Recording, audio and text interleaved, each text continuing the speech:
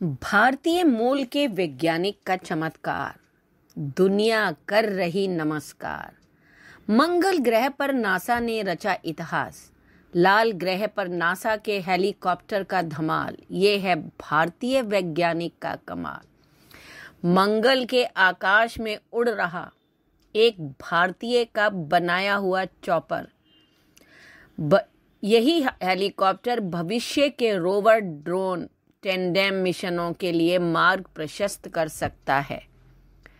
अंतरिक्ष की agency NASA का एक एयरक्राफ्ट मंगल ग्रह पर उड़ान भर रहा है। ये एक ऐसा हेलीकॉप्टर है जो अनजाने वातावरण में उड़ान भरने में सक्षम है।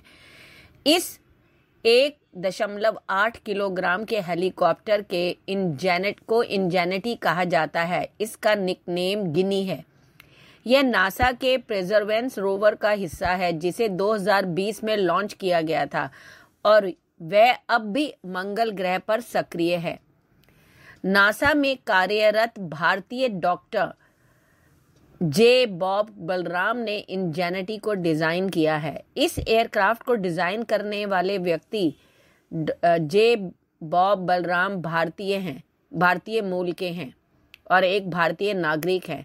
और वे वर्तमान में नासा की जेट प्रोपल्शन लेबोरेटरी में कार्यरत हैं। आईआईटी मद्रास में मैकेनिकल इंजीनियरिंग की पढ़ाई करने वाले डॉक्टर बलराम ने कहा कि इंजेनिटी हेलीकॉप्टर बनाना एक चुनौती थी। किसी को भी इस पर विश्वास नहीं था। इन जेनेटी टेक्नोलॉजी का चमत्कार है। इसका वज़न मात्र एक दशमलव आठ किलोग्राम है। यह ultra light weight carbon fibre से बना है और केवल आधा मीटर लंबा है। मंगल ग्रह पर हवा का घनत्व पृथ्वी से सत्ताईस हज़ार मीटर ऊपर हवा के घनत्व जैसा है। यह ऊंचाई का वह स्तर है जिस पर मौजूदा हेलीकॉप्टरों, हेलीकॉप्टर कभी नहीं पहुँच सकते, पहुँचे। इन जेनेटी को उड़ाने के लिए ब्लेड 2400 और 2900 आरपीएम पर घूमते हैं। यह गति पृथ्वी पर किसी भी हेलीकॉप्टर की ब्लेडों की गति की तुलना में लगभग 10 गुना तेज है। इन जेनेटी पहली बार किसी दूसरी दुनिया में संचालित नियंत्रित उड़ान का परीक्षण करने का एक प्रकार का प्रयोग है। प्रेजरमेंस रोवर पर सवार होकर यह हेलीकॉप्टर 18 फरवरी 2021 को स्टोवे की तरह मंगल की सतह पर पहुँच गया। इन जैनिटी हेलीकॉप्टर को 3 अप्रैल 2021 को सतह पर तैनात किया गया था।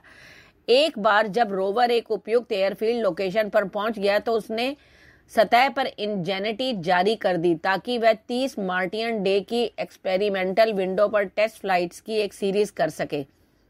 भारत के चंद्रवान चंद्रयान रोवर प्रज्ञान के समान। डॉक्टर बलराम ने भारत के ऐतिहासिक चंद्र मिशन की जोरदार सराहना की। उन्होंने कहा, विक्रम लैंडिंग ने रोंगटे खड़े कर दिए। इसरो को अपने लक्ष्य हासिल करने चाहिए। उनके हेलीकॉप्टर ने तीन सफल उड़ानों के बाद अपना टेक्नोलॉजी डिमॉन्स्ट्रेशन पूरा कर लिया है। इंजेनिटी ने 19 अप्रैल 2021 को अपनी पहली उड़ान भरी थी। ज़मीन से करीब तीन मीटर ऊपर उठा थोड़ी देर के लिए हवा में घूरमा और एक टर्न पूरा करके उतरा वैसे उसने अब तक चौसठ उड़ानें भर दी हैं। मंगल के बेहद थिन एटमॉस्फेयर में नियंत्रित उड़ान संचालित करना एक बड़ा मील का पत्थर है। यह पृथ्वी से परे दुनिया की पहली उड़ान थी। बाद में हेलीकॉप्टर ने क्रमशः अधिक दूरी और अधिक ऊंचाई के अतिरिक्त प्रायोगिक उड़ानें सफलतापूर्वक पूरी की। इसने अब तक मंगल ग्रह के थिन एटमॉस्फेयर में चौसठ उड़ानें भरी हैं। उन्होंने कहा फ्लाइंग इंजेनिटी वास्तव में दूसरे ग्रह पर राइट ब्रदर्स मोमेंट था।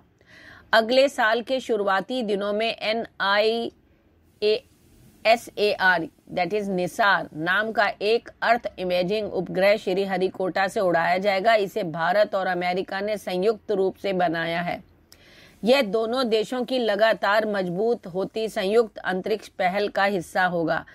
डॉक्टर बलराम मृदुभाषी है। उनका कहना है कि वे शीघ्र ही नासा से रिटायर हो रहे हैं तीन सालों में।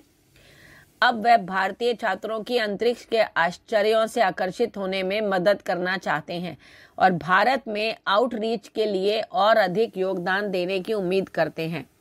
उन्होंने कहा कि आईआईटी मद्रास में उनके व्यवहारिक प्रशिक्षण ने इन इंजेनिटी उड़ान की सफलता में महत्वपूर्ण भूमिका निभाई।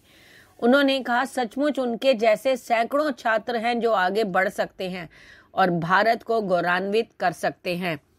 उनके नाम पर एक लाइक तो बनता ही है। कृपया लाइक, शेयर एंड कमेंट करें। धन्यवाद।